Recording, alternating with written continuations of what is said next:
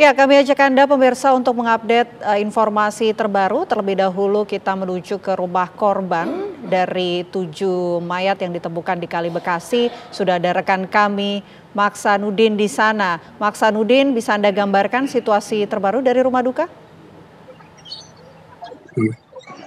Ya, saat ini uh, kami berada di salah satu rumah duka korban uh, tujuh salah satu dari tujuh korban yang ditemukan di Kalifikasi pada minggu pagi kemarin di kampung Rawa Bojong Menteng, Bojong Rawalumbu, Bekasi.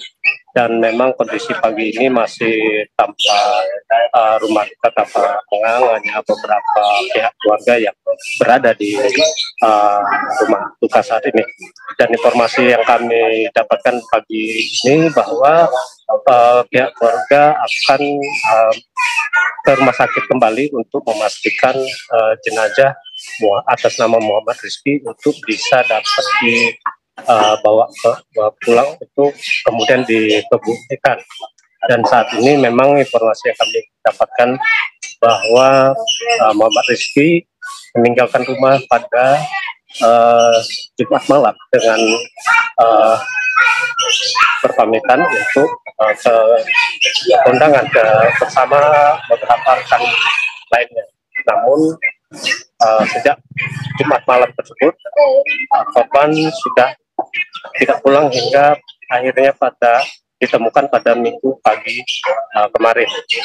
Pihak keluarga sendiri mendapatkan informasi bahwa uh, korban ini merupakan salah satu dari uh, tujuh korban lainnya yang ditemukan uh, meninggal di Kali Bekasi uh, itu dari uh, media yang sempat viral uh, pada minggu pagi kemarin dan kondisi korban saat itu uh, pihak keluarga menem, uh, mengidentifikasi bahwa mengenali korban itu uh, dari pakaian yang dikenakan dan saat ini memang uh, pihak keluarga masih menunggu uh, dari pihak rumah sakit atau dari pihak berwenang uh, Mas Karudin. kepolisian agar uh, agar korban ini dapat dibawa uh, pulang.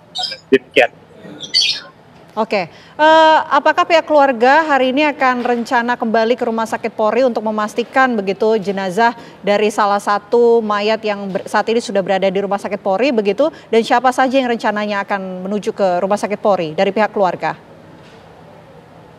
Iya, memang rencananya pagi ini pihak keluarga akan uh, kembali ke rumah sakit Polri, uh, uh, yaitu di antaranya orang tua uh, orang tua sambung dari Muhammad Rizky dan uh, kakak kandung dari Muhammad Rizky. Namun uh, saat kami konfirmasi ke keberangkatan mereka uh, belum bisa dipastikan apakah uh, jam 9 nanti atau jam 10 mereka masih menunggu informasi dari uh, pihak uh, rumah sakit dan memang informasi yang kami dapat dari uh, pihak keluarga dan warga sekitar uh, dengan kejadian ini memang uh, cukup mengagetkan pihak keluarga uh, di mana uh, korban ini dikenal ya uh, cukup baik dalam arti uh, tidak menduga bahwa akan ada uh, peristiwa seperti ini. Karena sehari-hari uh, korban sendiri dilihat hanya uh, nongkrong biasa seperti pada uh, remaja pada umumnya. Uh, seperti bermain gitar maupun uh, hanya duduk-duduk uh, di rumah. Di, tepatnya di samping rumah uh, kediaman rumah keluarga besar dari uh, Muhammad Rizky. Demikian Ya, baik dari rumah korban di Bekasi, Jawa Barat, pemirsa kami ajak Anda langsung menuju ke Rumah Sakit Polri Kramat Jati. Sudah ada rekan kami Hilda di sana. Hilda, sejauh ini bagaimana jalannya proses identifikasi para jenazah dan kemudian untuk posko antamertam apakah memang sudah berdatangan satu persatu keluarga dari korban ini?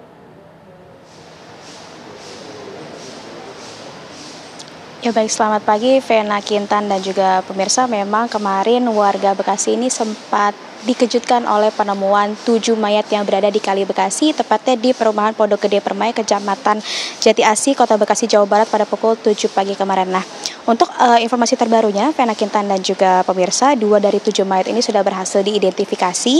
Korban tersebut berinisial MR yang di mana identitas tersebut ini terkuak dikarenakan adanya pernyataan dari sang kakak, yaitu Reza Kurniawan. Dan untuk postmortem yang dibawa oleh kakak korban tersebut, ya ini berupa foto dan juga kartu keluarga. Dan pihak kepolisian lalu uh, berusaha untuk mencocokkan postmortem yang dibawa oleh pihak keluarga MR tersebut dengan jenazah yang sudah berada di Rumah Sakit Polri sejak kemarin. Dan ternyata memang ad, menemukan adanya kecocokan begitu. Dan ternyata dikonfirmasi juga dari pihak keluarga ya ini kakak korban Reza Kurniawan bahwa uh, korban dan bahwa jenazah tersebut merupakan sang adik yang memang sudah tidak pulang sejak dua hari lalu. Dan memang tadi kami juga sempat mendengar Vena Kitana juga pemirsa sudah sebenarnya sudah ada empat jenazah yang sudah uh, ditemui oleh pihak keluarganya. Namun yang dua lagi kami masih belum bisa mengonfirmasi dikarenakan memang ternyata malam kemarin itu dua uh, da, dua pihak keluarga dari dua jenazah memang sudah datang ke rumah sakit Polri namun kami masih belum bisa uh, mengonfirmasi uh, pihak keluarga tersebut dari jenazah yang mana begitu. Lalu untuk uh, bagi para jenazah yang memang belum dipertemukan oleh da, oleh pihak keluarga, uh, pihak rumah sakit Polri juga kemarin sempat menyampaikan bahwa bisa langsung melapor ke Rumah Sakit Polri ataupun ke Polres uh, Bekasi begitu. Mulai dari melaporkan identitas pelapor dan juga keluarga yang dilaporkan, lalu juga alat-alat pribadi terduga milik korban hingga foto milik terduga korban yang memang terlihat di bagian giginya. Dan memang uh, tadi kami juga sempat mendapat informasi bahwa sudah sekitar 15 orang diamankan oleh pihak kepolisian dan tiga dari 15 orang tersebut dinyatakan sebagai tersangka karena membawa senjata tajam. Namun memang hingga sampai saat ini kami masih belum bisa uh, menyampaikan informasi lebih lanjut dikarenakan memang tadi kami sempat mendengar bahwa nantinya akan ada konferensi pers terkait kasus penemuan tujuh mayat ini. Namun memang jamnya atau pukulnya masih uh, bersifat tentatif begitu uh, situasional dan situasi terkini di Rumah Sakit Polri Vena Kintan. Kalau bisa Anda lihat di layar kaca Anda memang masih uh, terpantau sepi dan juga masih kondusif karena memang konferensi pers masih belum berjalan. Nanti kami akan update uh, kembali kepada Anda Vena Kintan dan juga pemirsa. Sementara kembali ke studio. Dari Hilda di Rumah Sakit Polri, pemirsa kami ajak Anda langsung menuju Polres Bekasi. Sudah ada Kurnia Dwi Hapsari di sana. Kurnia, ini sebelumnya Kapolda sempat meminta Propam Polri untuk melakukan pemeriksaan terhadap tim dari Polres Bekasi. Adakah informasi terbaru mengenai hal ini?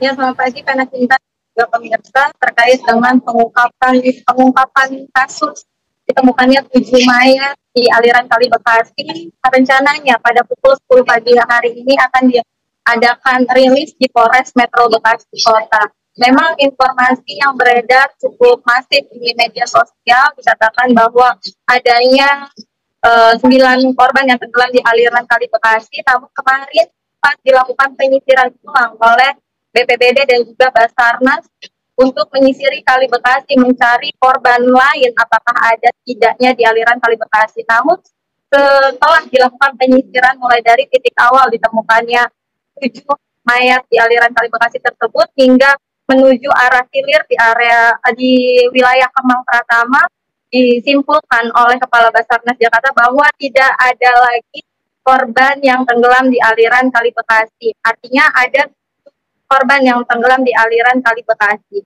Dan kemarin Kapolda Metro Jaya Irjen Karyoto juga sudah meninjau langsung TKP dan di sana Kapolda mengatakan bahwa diduga para uh, korban yang tenggelam di aliran Kali Bekasi ini merupakan pelaku tawuran yang ketakutan saat tim patroli ini, uh, tim presisi dari Polres Metro Bekasi Kota ini melakukan patroli. Namun demikian, pihak dari Kapolda juga mengatakan bahwa ia akan melibatkan Propam uh, karena akan mengungkap kasus ini secara apa adanya. Nantinya pihak dari tim presisi ini akan dilakukan pemeriksaan mengetahui sebenarnya seperti apa cara menunggur uh, para pelaku ini dan juga uh, para terduga pelaku tawuran ini dan juga bagaimana cara berpatrolinya hingga mereka ini ketakutan dan menceburkan diri ke Kali Bekasi. Sekian, Pena. Baik, terima kasih Kurnia Dwi Hapsari atas laporan Anda dari Polres Bekasi dan juga sebelumnya terima kasih untuk rekan-rekan. Selamat kembali bertugas.